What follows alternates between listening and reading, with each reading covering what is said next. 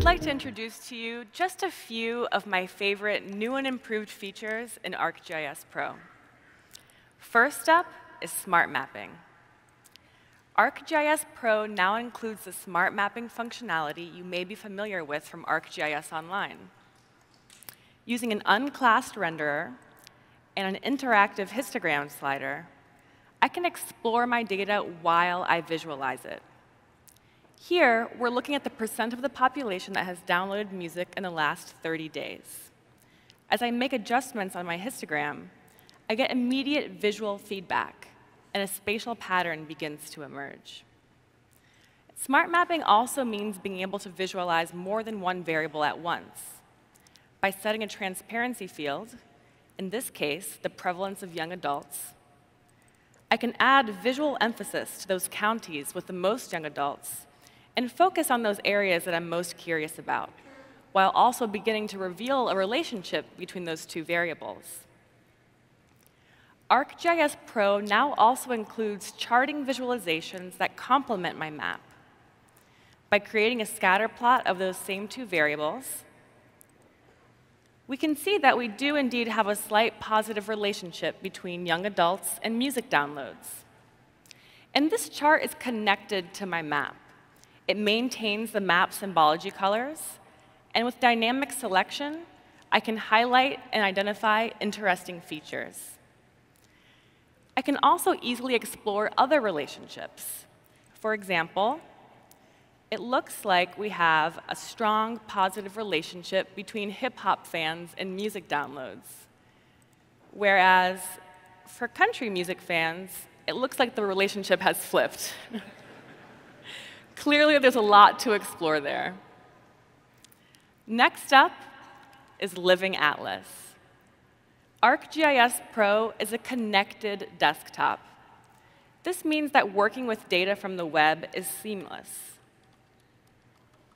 Not only can I access my own private portal and publicly available data, but I benefit from the wealth of Esri curated content available through the Living Atlas like this world navigation vector tile base map. Vector tiles are beautiful, they're fast, and they're easily customizable. But the Living Atlas is not just about base maps. ArcGIS Pro also equips me with ready-to-use tools. Let's generate some service areas around some of my favorite local mu music venues in downtown Los Angeles.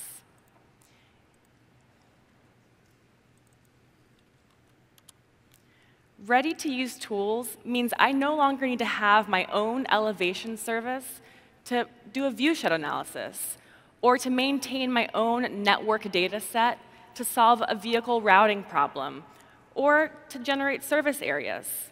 I can just run the tool and get the results that I need. The next improvement I'd like to tell you about is in the field of spatial analysis we've made some significant advances in the site suitability workflow.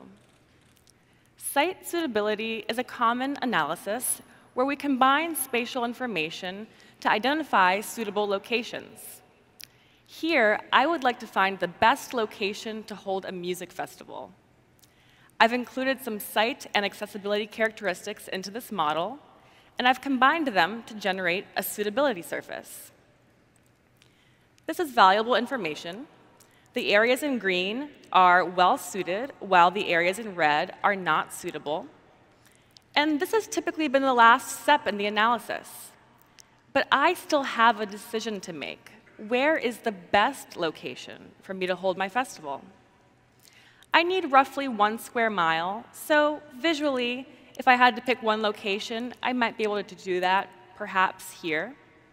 But usually our questions are a lot more complicated than that, which is why I'm really excited to introduce to you the new Locate Regions tool. Locate Regions allows me to specify detailed size, distance, and even shape requirements, and interrogates my suitability surface to find the areas that best fit my needs. This time, I've asked Locate Regions to give me 10 potential locations for my music festival.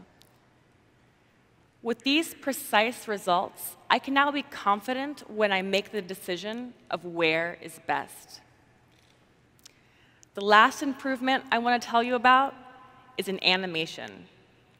Creating animations is now as easy as importing your bookmarks. I can add them to my timeline, and then just hit play. Let's take a virtual visit to one of my proposed music festival sites and explore the beautiful landscape in 3D.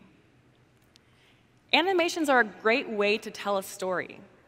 I can export this as a movie using one of these common file type presets, or I could share this as a web scene or as a package. Because ArcGIS Pro really is a connected desktop, making data exploration, complex analysis, and storytelling smarter than ever. Thank you.